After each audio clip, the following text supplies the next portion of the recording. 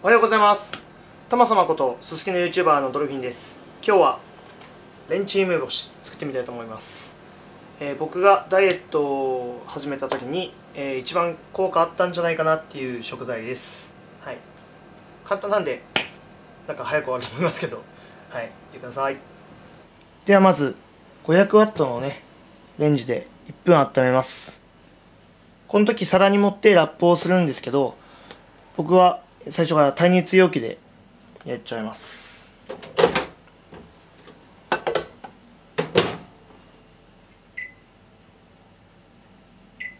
1分。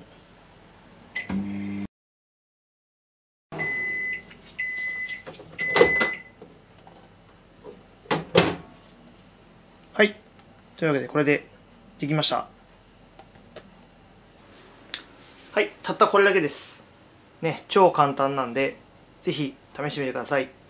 えーと注意点が、えー3食食べる前に1個ずつ食べるといいみたいです。えー1日3個までがね、あのちょっと塩分が多いみたいなんで、えー1日3個までなんですけど、1日3個食べると、えー新陳代謝がですね、上がるバニリンってやつがですね、あのレンジで温めることによって増えてるので、えー非常にいいみたいです。